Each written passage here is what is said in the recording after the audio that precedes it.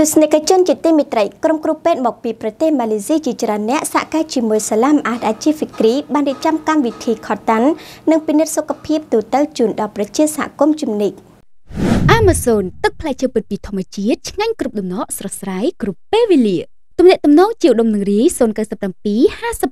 31 381 ក្រុមគ្រូពេទ្យជាច្រើនអ្នកដែលមកពីសមាគមប៉ាត់ម៉ៃពូទីម៉ាឡេស៊ីដែលជាដៃគូសហការយ៉ាងជិតស្និទ្ធនៃសាឡាមអាហាតហាជីហ្វិគ្រីបានរៀបចំកម្មវិធីខតតាន់រួមទាំងមានការពិនិត្យសុខភាពទូទៅនិងពិនិត្យមាត់ធ្មេញជូនដល់ក្មេងៗនិងប្រជាពលរដ្ឋជាច្រើនអ្នកស្ថិតនៅបរិវេណសាឡាមអាហាតហាជីហ្វិគ្រីក្នុងភូមិបន្ទាយឃុំជំនិកស្រុកក្រូចឆ្មាខេត្តត្បូងឃ្មុំដែលកម្មវិធីនេះបានប្រព្រឹត្តធ្វើឡើងរយៈពេលមួយសប្តាហ៍ពេញចាប់ពីថ្ងៃទី20ដល់ថ្ងៃទី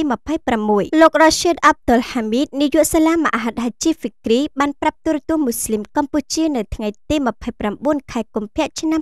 2024នេះឲ្យដឹងថាសាឡាមអាហាតហាជីហ្វិគ្រីតែងតែមានកម្មវិធីខតាន់រួមទាំងការពិនិត្យសុខភាពផ្សេងផ្សេងជូនដល់ប្រជាសហគមន៍ជំនិចបែបនេះជារៀងរាល់ឆ្នាំដោយមានការសហការយ៉ាងជិតស្និទ្ធជាមួយសមាគមនៃប្រទេសម៉ាឡេស៊ីផ្ទាល់នៅក្នុងគោលបំណងជួយលើកកម្ពស់នូវការយល់ដឹងផ្នែកសុខភាពដល់ប្រជាជនដែលគ្មានលទ្ធភាពនិងជួយបង្កើនភាពងាយស្រួលដល់ក្មេងតូចៗនៅក្នុងសហគមន៍ដែលមិនទាន់ខតាន់រួមទាំងជួយដល់ការអប់រំផ្សេងផ្សេងទៅលើសុខភាពមាត់ធ្មេញការរស់នៅប្រចាំថ្ងៃប្រកបដោយអនាម័យនៅក្នុងនាមជាអ្នកមូស្លីមលោកក៏បានបន្ថែមទៀតថារយៈពេលប៉ុន្មានថ្ងៃកន្លងមកនេះក្រុមគ្រូពេទ្យនៃប្រទេសម៉ាឡេស៊ីនិងឥណ្ឌូនេស៊ីបានធ្វើការខតាន់ជូនដល់ក្មេងៗសរុបបានចំនួន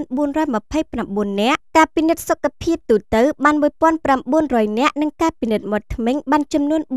478នាក់ជាពិសេសក្រៅពីសកម្មភាពទាំងនេះសមាគមនៃប្រទេសម៉ាឡេស៊ីក៏មានកញ្ចប់សប្បុរសធម៌និងអំណោយផ្សេងផ្សេងចែកជូនទៅដល់ប្រជាសហគមន៍ជំនិចផងដែរនៅក្នុងនោះមានដូចជាកុមារកំព្រាមនុស្សចាស់និងបងប្អូនដែលមានជីវភាពលំបាកសម្រាប់សហគមន៍ជំនិចដូចគ្នាគួរជម្រាបផងដែរថាកម្មវិធីពិនិត្យសុខភាពស្ថិតនៅឃុំជំនិចដែលមានការសហការជាមួយប្រទេសម៉ាឡេស៊ីនេះចាប់ផ្ដើមធ្វើឡើងតាំងពីឆ្នាំ